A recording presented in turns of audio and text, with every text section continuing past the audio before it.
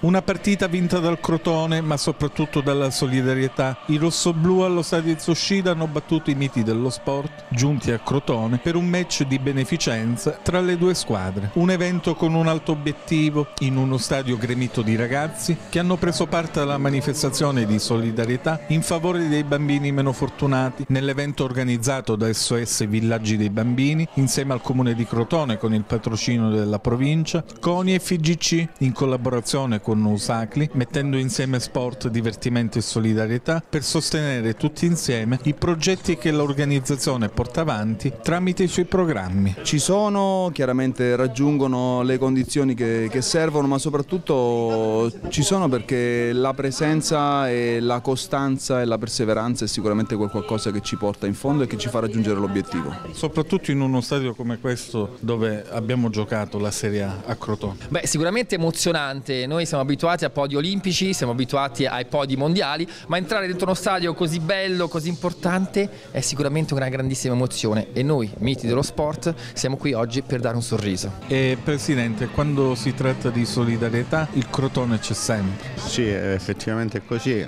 Ogni anno cerchiamo di fare qualcosa di importante per soprattutto per i bambini. Questa è un'associazione che è presente in 136 paesi del mondo, la più grande che eh, praticamente cerca di fare beneficenza appunto per i bambini più disagiati nel mondo. Una curiosità adesso sul Crotone Calcio. Ieri la vittoria col Potenza molto importante è un motivo in più per raggiungere questo obiettivo. Sì, diciamo, il motivo in più c'è sempre, nel senso che abbiamo una squadra importante eh, purtroppo eh, abbiamo avuto dei risultati altalenanti, però adesso sembra che siamo sulla, sulla buona strada, ecco, speriamo di continuare così. Il ricavato dei biglietti contribuisce a sostenere il benessere psicologico e sociale dei minori stranieri non accompagnati che arrivano in Italia e per favorire la loro integrazione nel territorio. Senta, che significato può assumere oggi questa giornata così importante per i bambini, per le nuove generazioni italiane?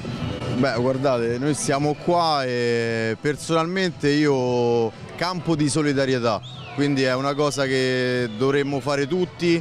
Questa giornata è una giornata particolare e siamo contenti soprattutto di essere qua in questa bellissima città come Crotone e speriamo insomma di, di fare bella figura davanti a questi magnifici ragazzi che ci stanno guardando dagli spalti. Questo è quanto ci ha detto il prefetto di Crotone Franca Ferraro su quanto si è svolto a Crotone. Perché adesso abbiamo eh, implementato con il gestore eh, l'accoglienza dei minori stranieri non accompagnati con delle figure professionali ad hoc proprio per i minori, mutuandoli dal SAI, ma quest'estate ci siamo preoccupati grazie con i servizi sociali delle uscite protette perché ricordo a tutti che si tratta di minori non accompagnati eh, sia le uscite che la tutela dei diritti eh, degli stessi contemperando le due esigenze